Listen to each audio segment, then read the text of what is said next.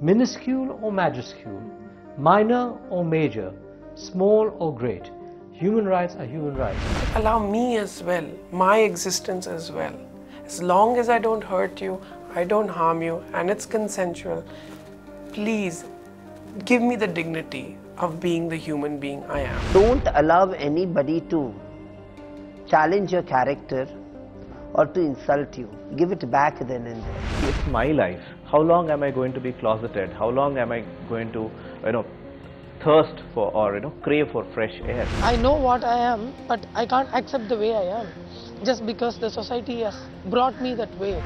You know, they dragged me like an animal, put it in the Hoysala jeep. They took me to the Cubbon Park police. And uh, there was a thing where, you know, I was being surrounded by uh, 15 cops.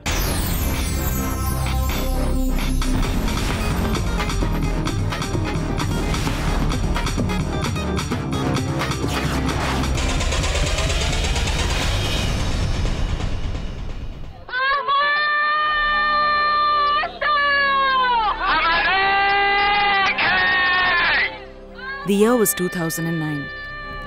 A 150 year old archaic law had been struck down by the Delhi High Court. The joy and relief was palpable.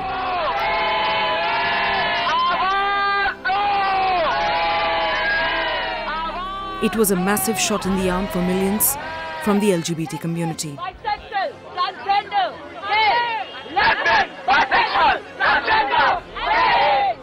Who had been fighting for years to get what was rightfully theirs.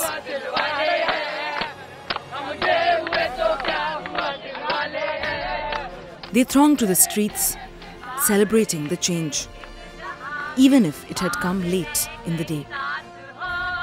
But the euphoria soon crumbled, and in just four years, these individuals were dragged to square one.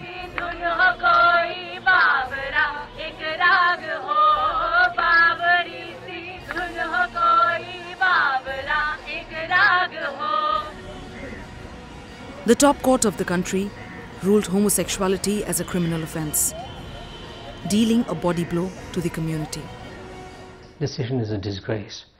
It's a disgrace to law, constitutional principles, the ideals of the Constitution, such as liberty, dignity, equality, and in terms of the right to live a life, to be with the person you love, to express your love, it is a disaster.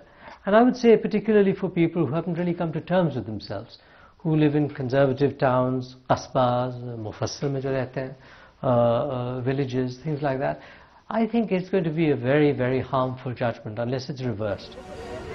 Why were they denied a right to life? Who gives the courts the right to decide a person's sexual orientation? Why should they be forced to bear the burden of their choice? They wanted answers. But unfortunately, the world's largest democracy had none. This law, 377, uh, goes against Article 14, 15, and 21, and it would have behooved uh, the two person bench to have acknowledged that rather than to make shifty arguments um, and rather illogical and uh, intellectually hollow and emotionally shallow arguments. Uh, not only emotionally, I would say morally shallow arguments to prop up an antiquated law. They met each other in 2009 on a social networking website.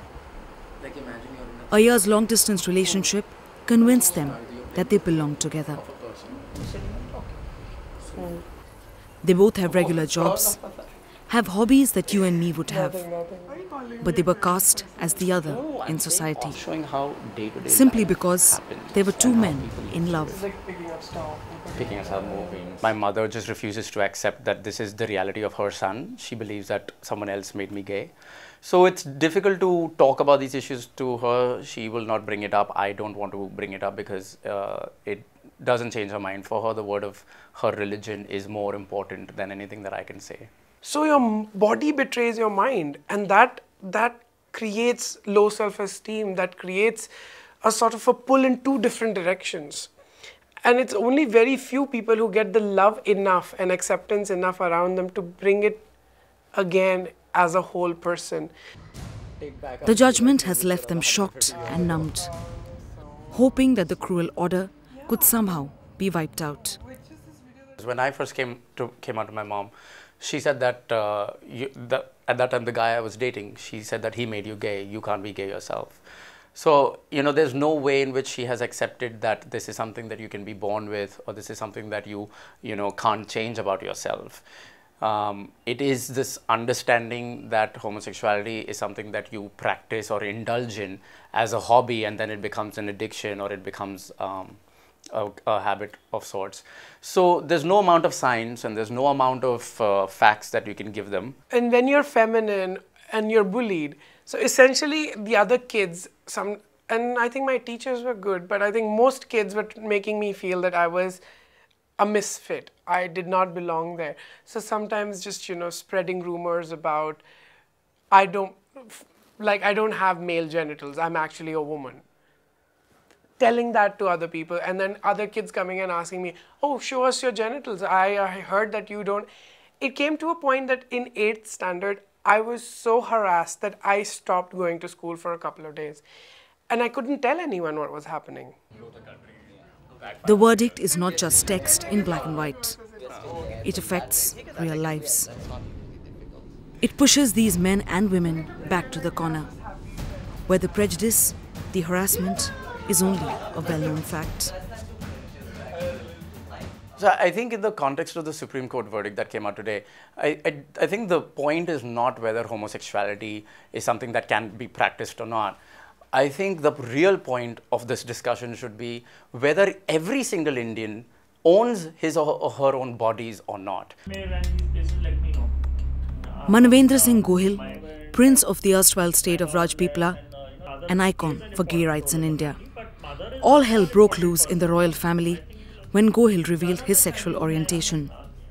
There was an attempt by his parents to disinherit him after the revelation. He even married because he didn't know any better. But it ended in a divorce in 1992.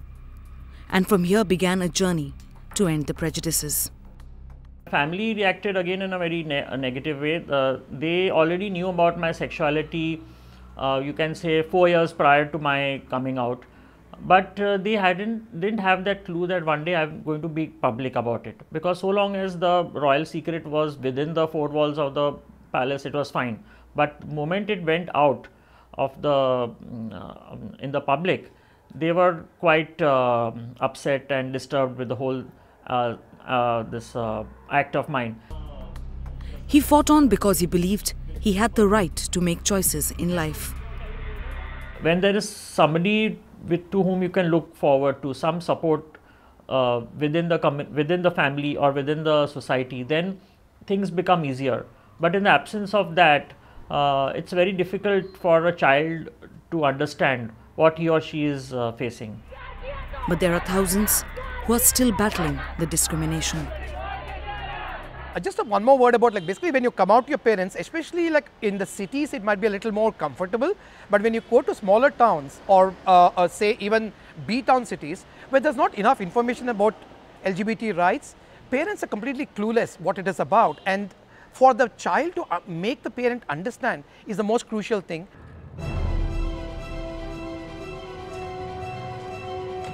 This is the IT capital of the country. Modern, progressive, and said to be with the times. But that generalization couldn't be more far from the truth. In this very city of hope and aspiration, a transgender was asked to disrobe by policemen when they were informed of a sexual orientation. There was a situation where I was standing in a brigade or uh, St. Mark's Road, uh, where I was having an ice cream uh, so the police cop of Cubbon Park was passing there and he, when they saw me, they very intently said that I am doing a sex work. So they dragged me in the jeep. They took me to the Cubbon Park police station. I was catching their leg. I was begging them if I, if I recollect those things and there's the tears in my eyes. I, I said, sir, I'm not doing it. Please, I came for ice cream thing. Why you people are torturing me?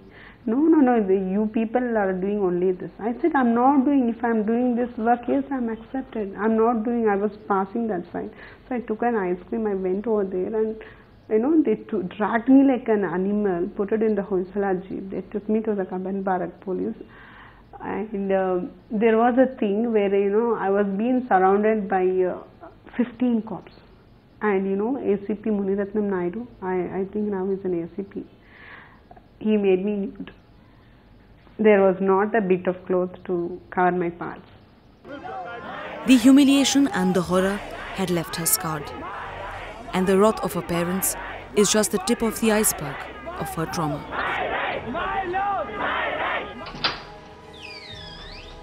In the same city, not very far away, a software engineer and a civil service officer have been fighting a similar intolerance. They are like any other two people in a relationship, trying to make a living in the big city. It's my life. I have to somehow manage to find my space and then say, yeah, this is I am. This is how I am going to be forever.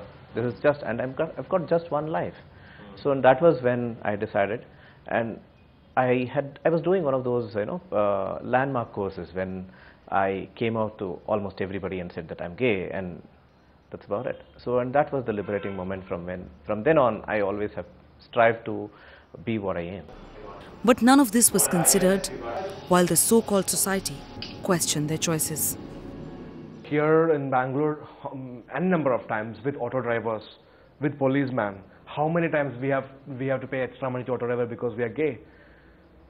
Yes, because for example, when they come out from the gay party, I mean, you know, which they also will be standing there, they know that we are gay, and they will just call us. I mean, there are a lot of humiliating incidents. They're calling on the face like chakka, and you know, uh, tum log hijre ho, and all these things. You know how hurtful it is. I mean, when uh, somebody call you all these things. Really want people to keep reiterating that the law does. For these anguished voices, a radio station like this provides a platform to be heard, a source that gives them anonymity while letting them voice their pain. We know exactly that anyone could basically be arrested. We are not saying that conviction will happen because thankfully that this, this, when we read the judgment we realized that conviction is also something that would require a lot of material evidence. It would require the, the proof of the act actually being committed and and that's really hard to prove. So I don't think a lot of convictions would have happened, but arrested is enough, right? So basically, when you arrest someone saying that they've been uh, charged under 377, that that's enough of a shame already. So that that's the biggest fear that people have been having. We've been trying to change that. We've been trying to tell people that uh, they needn't be worried about this. They speak out without the fear of being judged. But unfortunately, in reality, such forums are rare and few. What has this got to do with Indian culture? Go to Konark, go to Khajuraho, read the poems of Mir, read the memoirs of Babur, who established the Mughal Empire. We are a much more liberal culture than this kind of conservative Victorian morality that was forced on us. There are nations where gay marriages have been legalized. There are countries where two people of the same sex can freely and openly express their love and affection.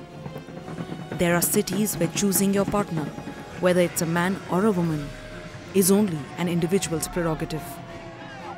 But sadly, none of this happens in India. Ironically, the world's largest democracy. Worst treatment day ever in my life that I had to go through the shock therapy. I see myself as part of the collective struggle that has been going on for the past two decades. I faced a lot of difficulties, obstacles, many a triumph.